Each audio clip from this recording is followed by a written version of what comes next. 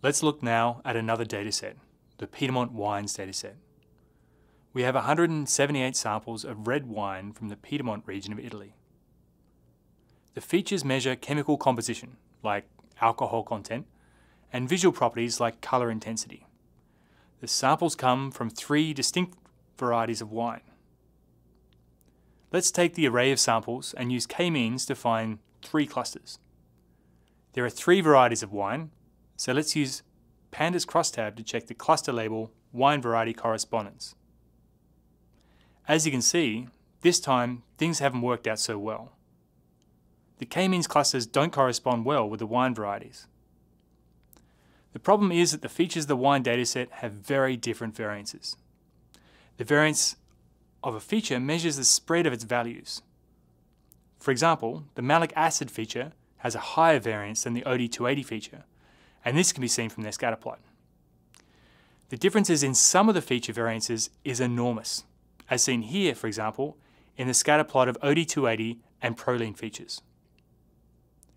In k-means clustering, the variance of a feature corresponds to its influence on the clustering algorithm. To give every feature a chance, the data needs to be transformed so that the features have equal variance. This can be achieved with the standard scaler from scikit-learn. It transforms every feature to have mean 0 and variance 1.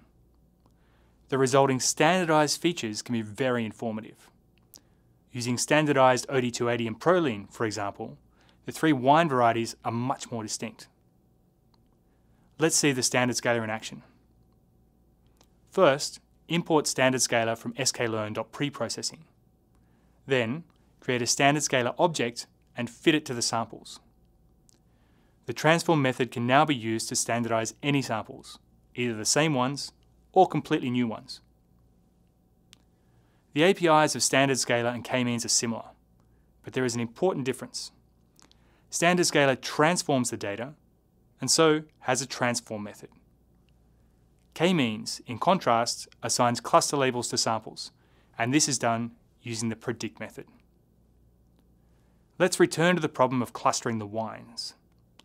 We need to perform two steps. Firstly, to standardize the data using standard scaler, and secondly, to take the standardized data and cluster it using k-means. This can be conveniently achieved by combining the two steps using a scikit-learn pipeline. Data then flows from one step into the next automatically. The first steps are the same, creating a standard scaler and a k-means object. After that, import the make pipeline function from sklearn.pipeline. Apply the make pipeline function to the steps that you want to compose. In this case, the scaler and the k-means objects. Now use the fit method of the pipeline to fit both the scaler and k-means, and use its predict method to obtain the cluster labels. Checking the correspondence between the cluster labels and the wine varieties reveals that this new clustering, incorporating standardization, is fantastic.